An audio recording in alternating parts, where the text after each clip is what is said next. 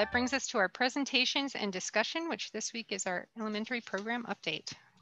Yeah, so um, if if we could title this presentation, I think Lisa took the words out of my mouth, silver linings. And uh, when we uh, met with the three elementary principals who have, who have now joined us, um, we really wanted to share with the board and the community um, what worked this year, what some of the takeaways were, and what we might be able to, what we learned this year out of necessity that might be part of our culture moving forward.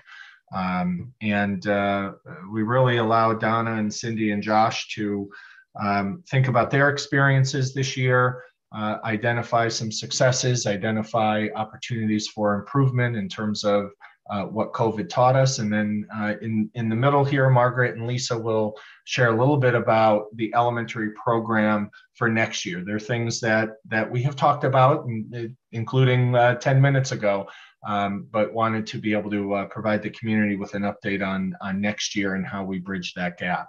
Um, before we officially get started, I, I want to make sure that I commend um, Donna, Josh, and Cindy. Um, we have always worked well together, uh, and we have worked even more closely and even better this year with text messages and phone calls.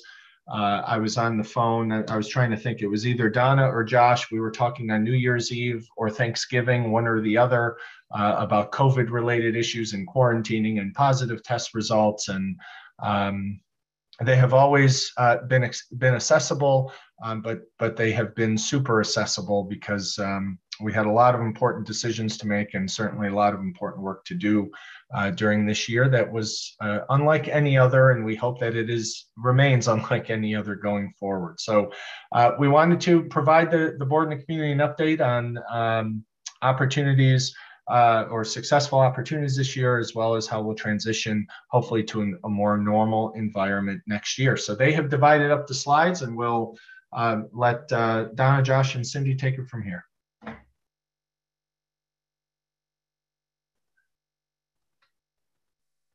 Greg, go ahead. You can uh, move to the next slide. So good evening, everybody. I'm going to start and obviously remote instruction was a huge part of this year. We had many students at the elementary level who were fully remote for the entire year. And it was also a big part of instruction for the in-person students who often had to quarantine and do a lot more work online than what they had been used to doing previously. So we just wanted to talk a little bit about what that looked like this year and, and how successful we, we felt that was.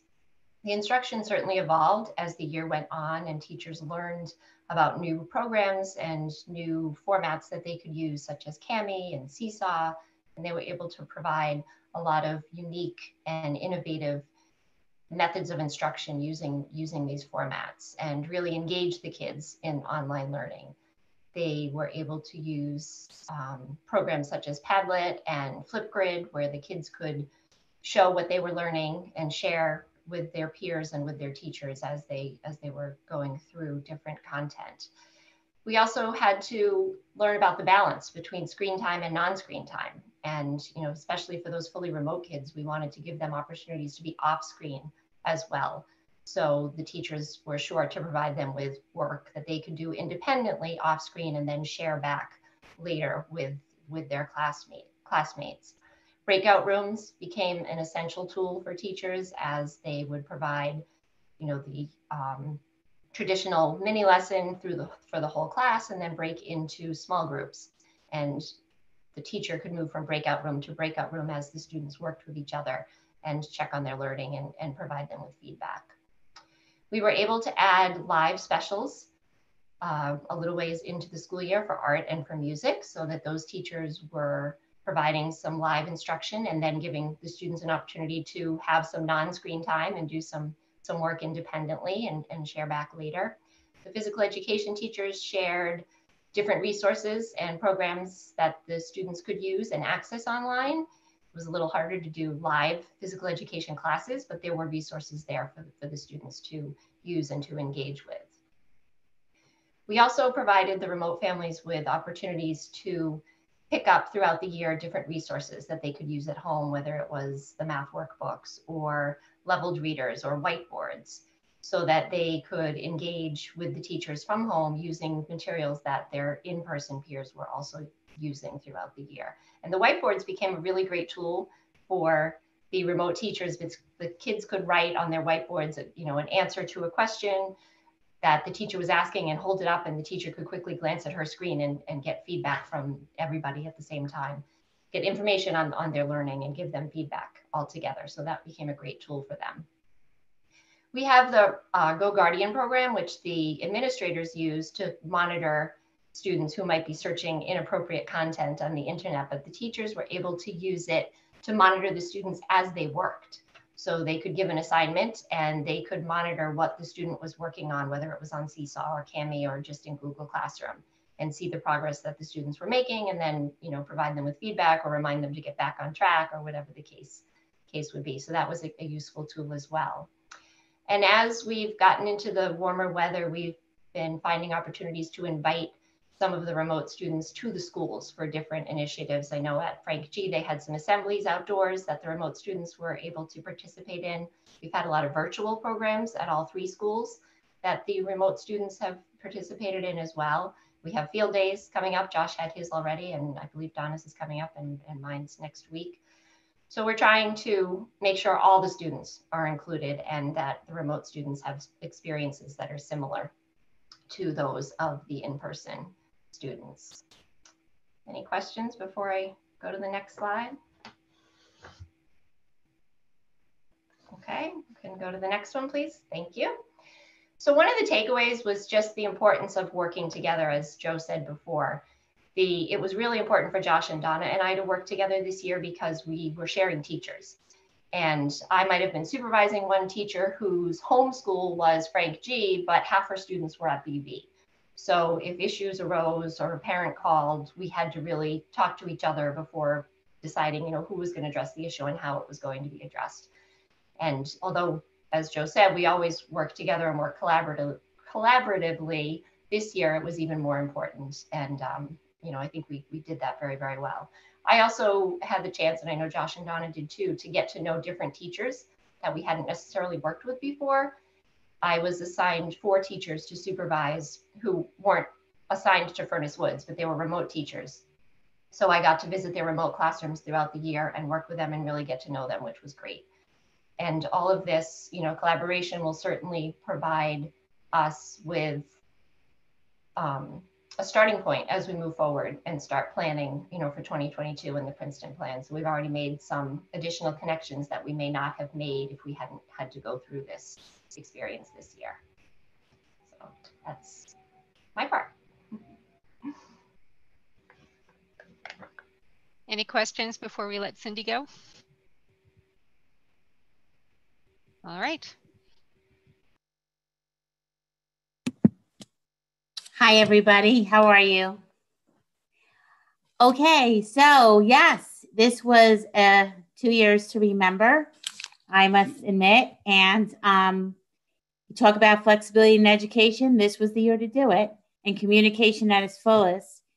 And like we said, and Joe started to say, there was never a holiday or a weekend that went by where we were having some kind of communication, either with him or especially my nurse and secret our nurses and secretarial teams. It was 24 7 um, weekends discussing what we were going to do next. At, at, a moment's call, we were getting calls uh, regarding a case of COVID, but our role was to always limit the amount of people that were out.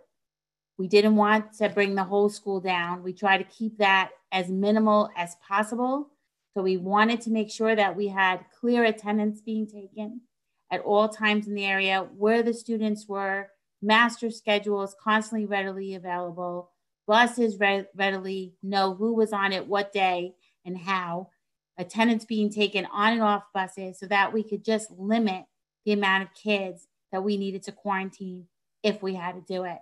And so much kudos to our nurses, and our secretaries who I don't think they knew what a Saturday or Sunday was.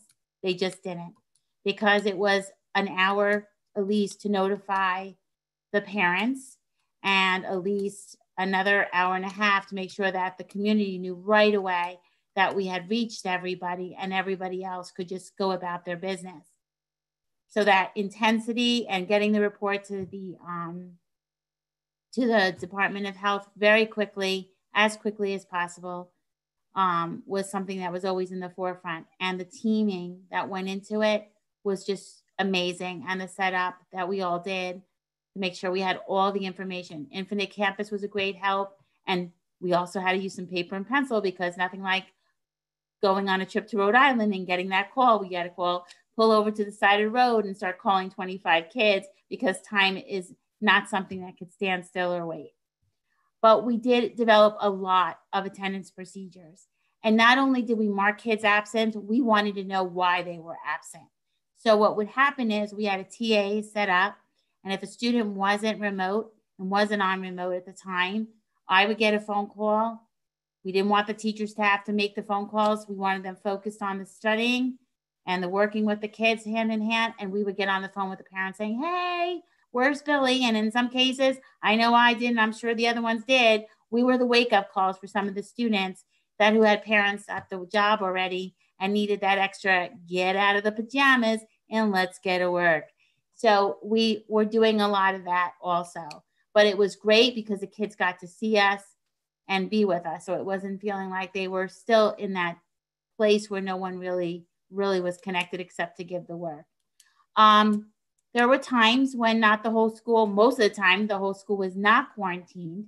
So for those that were quarantined, we set up some teaching assistant and teacher time support so they could go in and check in with the students that were quarantined, let's say the bus, if their whole class wasn't, and they could run the Google slides that they needed to learn. And so those children that were on those 10 days and at one time 14 days, what an enormous amount of time.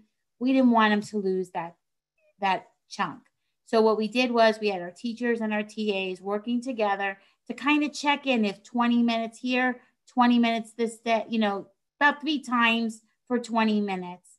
We had that. So the kids will at least get an hour and a half if they were quarantined at home due to our reasons. If kids were quarantined due to the fact that they decided to take a trip, well, then that was a little bit of a different area. Um, relationships between students and parents were even stronger than ever.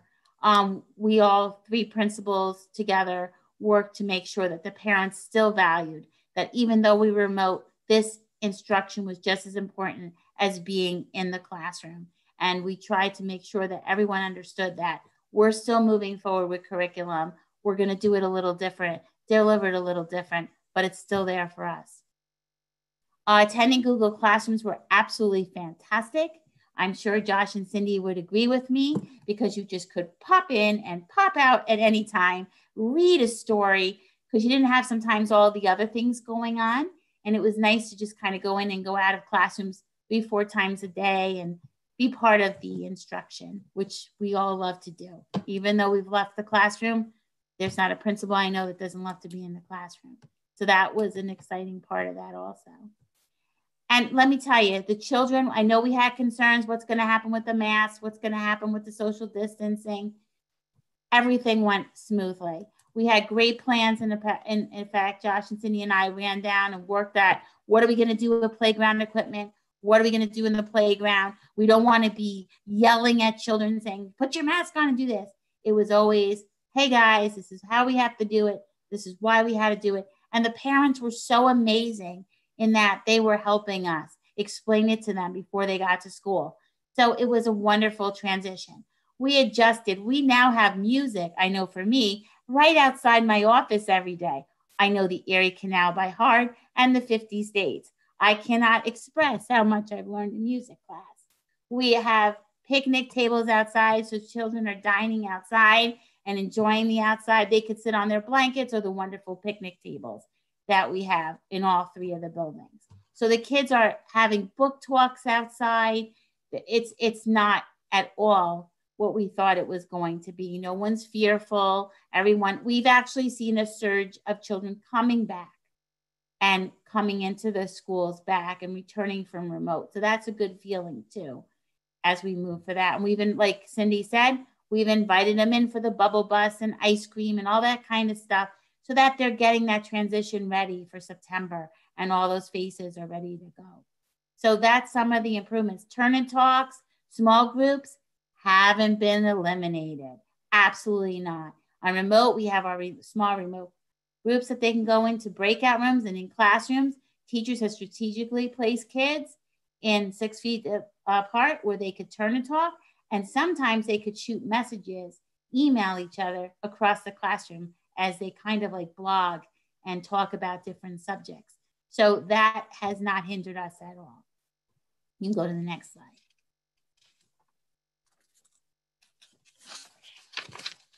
Like I said, you know, and I'm sure Josh and, and Cynthia will um, also agree with me. We knew our kids, we know who they are. We've grown up with them over these past couple years, and the relationships were critical.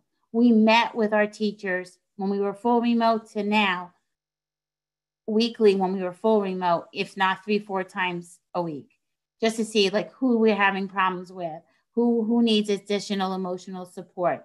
Parents knew us. They we tied them even with teachers beyond their own teachers at this time because we knew where our hot spots were. And sometimes we had some surprises, but quickly our, our resource people, our psychologists and social workers met with those kids. Parents reached out to us and we were able to always create that communication so kids didn't feel alone.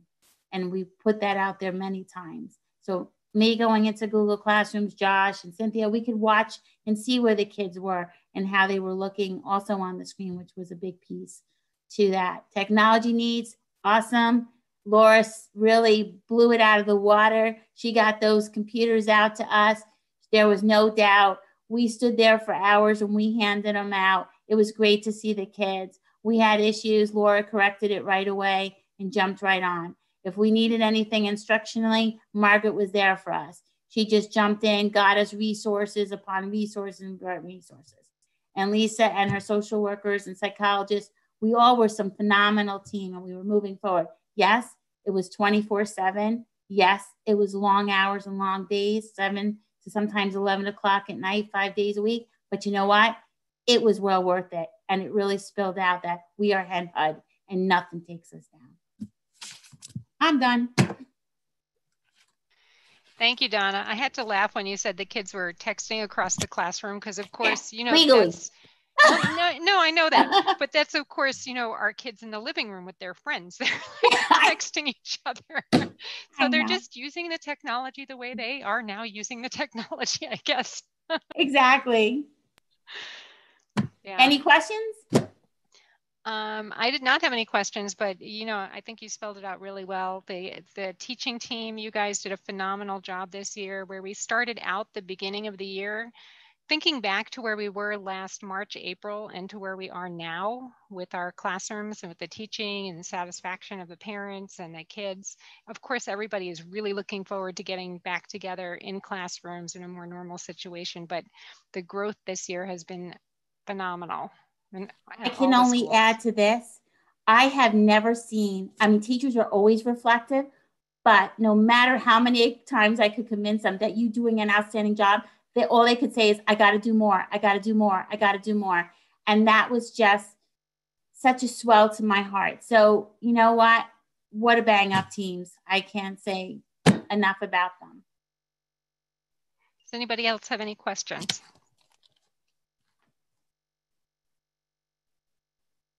All right, looks like you did a great job. Josh, Thanks. you're up. All right, thanks, and well done, Donna and Cindy. Um, this one is about supporting one another, and I'm going to build off Donna's last slide where it said every person. We couldn't have got through these times without every single, you know, unit member, um, our our office staff, the nursing staff, the kitchen, the clerical, security, TAs, aides, monitor, you know, teachers, everybody was working together on how to make this successful, um, from the safety aspects to the mental health. And, um, you know, I just don't want to forget any single crew member because it was a, a team effort across all the schools in our district. Our mental health team did a great job working with the classrooms, um, lessons on, you know, how to cope, mindfulness, how to express themselves, talk about feelings, gratitude, you know, bully prevention strategies and skills. Um, in the classrooms, there were still those greetings. Um, you know, just like Donna said, there was still turn-in talks. We still did the, you know, meet everybody outside, but it wasn't physical. It was from a space, you know, air high fives, waving, um, and everyone made it as normal as possible. I would say Google Meets have been terrific. We've had turnouts improve for parent teacher conferences, PTA meetings, committee meetings, you know, whether it's our PBIS, RTI team, safety, CSE meetings like this. Um, we've had people from the ball field, you know, calling in. We've had people remoting from all sorts of, you know, you know, whispering as they're putting their kids to bed, but still trying to hear what's going on in the schools. Um, so that has been great. Um, and really, the next slide, Greg, if you want to go to the next one, expands on that. One of our takeaways is to continue what's been working. How do we include more people? Um, we want to get away from the fact that the you know involvement only means showing up at a PTA meeting. That's far from true. There are so many other ways you can contribute. Um, it could be an idea. It could be something tangible. It could just be that support and relationship with the teacher back and forth. Um, we've included students in assemblies variety of ways. There are different ways to include people from around the world using remote, you know, Google Meet, Zooms, and different technologies. Um, I know pledges announcements have been done this year, and we'll continue to be creative about ways to do that. Um, and again, we want to just continue that increased participation, um, involvement, and awareness of what's going on at our schools. That was it for me. Any questions on supporting one another?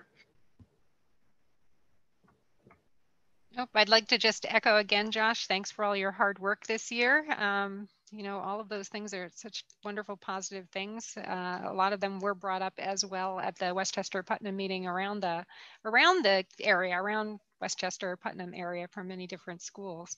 But I think we did an exceptional job, and uh, thanks to the support. And I, I agree that there's been a lot more participation with some of these live streams and Zoom meetings and things. So it would be great to continue to incorporate that going forward. Anybody else have questions, comments? Uh, I'll just jump in real quick. Um, you know, it was it was Margaret and and Lisa working with Donna, Cindy, and Josh to make sure that we could create an environment for all elementary kids to come every day if they chose to. We are one of very, very, very few districts that if parents chose to bring their send their children in every day, that we could accommodate them. Um, and not just accommodate, meaning have them in school, but have the same teacher, certified teacher, work with them all day, every day. Um, that was really, really, really important. And that team had to make some uh, really tough executive decisions. And I'm talking about decisions like, okay, the reading rug's got to go or these these bookshelves or this you know extra teacher desk or you name it in order to to create space um, because that was a priority from them. The priority was to try to get as many kids back into school um, as often as possible um, while families chose a, a remote model. And um, again that all transpired from august 7th until you know September 5th because it was on August 7th. I'll remember, of course, it was on uh, late in the week. I'm pretty certain it was a Friday when the governor said, "Yeah, you know, families don't want to send their kids in. The district will have a remote model. Good luck." Um, so this team, um, we did the impossible, and and and every school district did. They did what they what they believed they needed to do to be successful. But this team did the impossible. We built an entirely new school system in person and virtually uh, in the matter of weeks. And, and it was intense and it was stressful. Um, and we had to drop everything frequently in order to make sure we got the job done and make sure, as Donna said, we responded to COVID and health related matters. Um, you know, it, it was, I felt horrible texting everyone saying, Hey, you have a minute to talk? Or when they would email or call me, because wherever we were, Donna was exactly right. I was on the phone with her um, you know, she was trying to have vacation, uh, but we stopped what we were doing and we abandoned our our families and our plans in order to um, do the right thing. So. Um, while we hope we don't have another year like this, um, thank goodness we have the team that we have uh, and the teachers and the and the faculty that we have in all three schools because this was would absolutely not be possible without everyone being uh, on the same page and understanding that we've got to we've got to do right by kids in a, a really tough and uncomfortable situation. Absolutely, and and that team building doesn't happen overnight. There was a good foundation there already of collaboration. So, kudos to everybody. Um, any other comments from the board?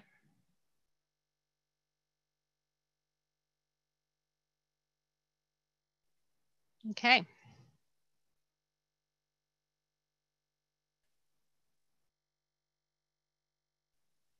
Joe, what's next?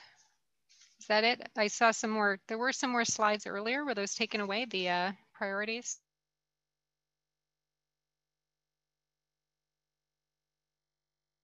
Ah, there we go. Joe, you're muted. I've got two computers. Yes, that was the last slide with Cindy, Donna, and Josh. So thank you. Um, so now we pivot to, okay, next year, right? We've talked a lot about uh, getting back to normal and um, how we reintroduce students, whether they were part of our 200 students who were remote. Um, so we'll talk a little bit about uh, supporting kids after the pandemic and then a little bit more on social emotional support. So I'll let Margaret take it from here. Okay, next slide, Greg. Thanks. So we spoke briefly about this uh, a few minutes ago when uh, Joe was talking about the American Rescue Plan funding um, which is paying for a good deal of this. Um, again, the bridge program uh, for grades two and three, this is targeted at BV and Frank G, not arbitrarily, but based on student performance. So along with the three principals, we look at cutoffs and expectations, and we identify students who are uh, not doing as well as we would have hoped. Uh, we attribute that to the uh, instructional upset over the past 18 months. Um, and recently, uh, Donna, myself, Josh, and the teachers who will be actually delivering the program had an opportunity to meet and discuss our expectations, our instructional plan. Um, I know that Donna and Josh will do an amazing job supporting them in the building next year, um, along with some of our special ed colleagues who are experts in this and will serve to guide us along. So there'll be a tremendous amount of collaboration and a lot of progress monitoring to make sure that these kiddos are getting where we would like them to be, where they need to be, and then you know getting them back in uh, mainstream instruction for the full day. They will they will be part of their homeroom classroom during this process. Uh, the we talked about the opportunity that the funds are providing for us to reduce class sizes um, it's much, much easier as a classroom teacher when you have fewer students that you can dedicate more time to. You know, time is the, uh, the only variable that we cannot um, do anything with. Our day is our day, but how can we allow teachers the maximum amount of powerful instructional time during those hours? And this is one way to do that. So we have the opportunity to put those people in place for one year, and I do believe that it will make a difference for our kids. The professional learning continues. We've had a very robust program at elementary. It is already paying dividends and seeing fewer kids leaving the room for AIS support. So we will continue where we left off. We did continue this year, but again, there's nothing like being in person with one another. So I know that our consultants are looking forward to returning in person. They've done yeoman's work uh, on Zoom and Google Meet. Um, and picking up where we left off and you know fine tuning some of that work and then reading recovery which as i said is a very well researched program um, targeted at first graders who are um, at risk in reading uh, it is um, the training that is being paid for with the American Rescue Funds. The staff is already existing. So it is not new teachers. It is a teacher who stepped up and said, I would like to be able to do this for the district. And so that teacher will be trained to do so. Uh, again, like everyone else, um, we really lived the saying, it takes a village. And uh, I think we did it very well. I'm very proud of all of my colleagues. Uh, a special shout out to all of our AIS math and reading teachers that we pushed into classrooms, really without very much notice, just said, oh, you're going to be a fourth grade teacher this year. And um, to their credit, they went willingly and really almost to 100% people this year, when I called or I emailed, said, What do you need me to do? And that was the only way that we could do, as Joe said, the right thing for kids was for everybody to feel that we were in this together however hard it was going to be, and we could get through this together as long as we maintain that attitude. So I want to thank everybody. And I don't want to call you out by name because I'll absolutely forget somebody, just like the folks do in their awards acceptance speeches, and then they never hear the end of it. So everyone that we worked with this year. Uh, I have the utmost appreciation and respect for your work ethic and your contributions to the success that we've experienced, and most importantly, to the success our kids have experienced. So I think that's my only slide, and I think it's Lisa's turn now. I have to echo uh, and just feed off Margaret just a little bit because this year my special ed teachers actually stepped up and they became classroom teachers as well. And for some of them, it was brand new. Others of them just jumped in. We've made some creative programs, and our parents were so flexible, and we were able to really do unique and out of the box thinking. And thank you, thank you to all the principals as well, because they were willing to think outside of the box, and they sometimes went much bigger, and we had to kind of rein them in a little.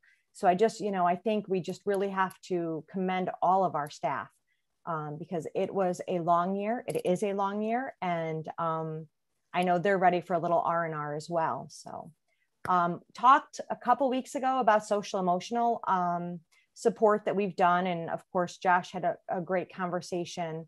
And um, one of the things that we're doing next year at the elementary level, so we're only focused on elementary, is we're going to continue our DBT at the elementary school. It'll be year two.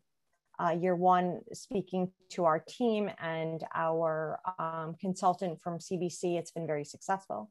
Second step, we'll reintegrate it back into the classrooms. I know um, Ms. Polito took a lot on this year, but she'll work collaboratively with the classroom teachers and we'll get that up and running again in full force. Um, Ms. Polito again has really done some small groups. Uh, she wants to continue the lunch groups. She has a mindful group, a friendship group, family cha changes, and executive functioning is something she wants to start next year for the younger kids. So continuing this and allowing kids to have an area to express concerns, to share emotions is really important. And I think one of the things that's very exciting for me at the elementary is a book club. I'm a big reader, and she really wants to do some SEL book clubs, whether it's during lunch or whether um, it might be that before school time or after school time when she gets a little time with the kids. For our staff, we are actually investigating the second steps for staff, which really incorporates um, leader training. So it's it's the principals getting some training on how to incorporate this into their faculty meetings as a whole group. And then throughout the month, there's some reflections in small groups, whether it's by grade level, however they choose to break it up. Um, but that is definitely something we have been thinking about because um, Dr. Wynn and Miss Marino and Miss Polito was were running some like staff check-ins, virtuals, where they left some time open where people could just come in and just kind of share what they were doing. So this is something that um, we felt that we should investigate and they'll talk about building trust, managing stress, um, advancing equity and developing efficacy.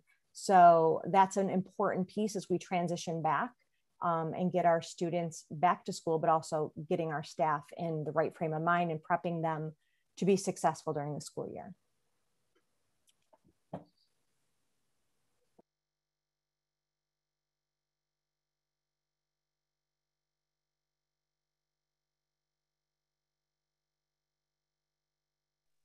All right, does anybody have any questions? Thank you, Lisa.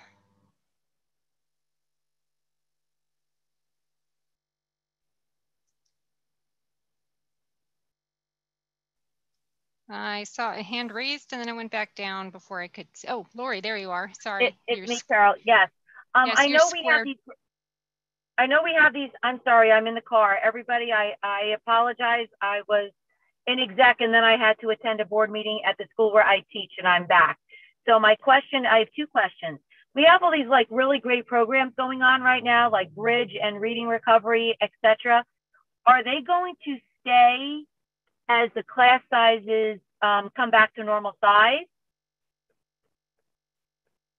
So reading recovery um, is not dependent on class size. Think of it okay, as good. another version of AIS reading, but just targeted for first graders.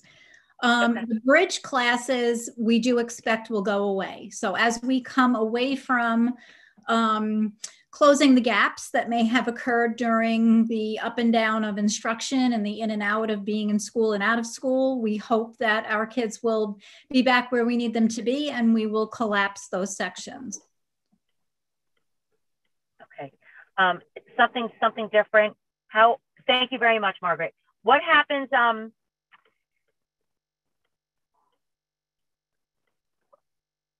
I don't know what I, I, have to think about what I want to ask and how I want how I want to ask the next question. So I, I'll come back. My other question is, um, how are how are people supposed to do their comments this evening? Again, my apologies because I wasn't here at the beginning of public session. So Margaret, this is not for you. I guess it's for Carol. How are the public supposed to give their comments tonight? And I apologize if you have already gone over that. I have, because of our technical issues tonight, we're only doing comments on our agenda items and they can be emailed to Carmen and she will read them, unfortunately. Any comments for non-agenda items, we're gonna hold till next week. If it's okay. something that they want the board to know urgently, they can email the board in the meanwhile, or not next week, but next meeting, I should have said, on uh, June okay. 16th. And at that point, at the June 16th meeting, hopefully we will be in person and hopefully they will be able to come and give their comments in person at that meeting. But again, if it's something urgent they need to contact the board about, in the meanwhile, they can do so via email. Okay, I, I apologize if you already said that at the beginning. I just wanted to know. it does not hurt to say it more than once, so I'm quite happy to reiterate. Okay, thank you.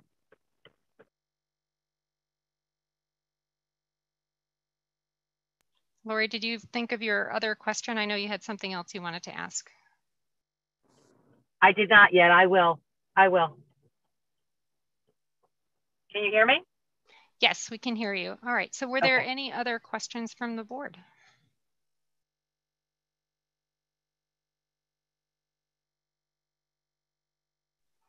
All right, Lori, we're back to you and then we're ready to move on to our public comment section.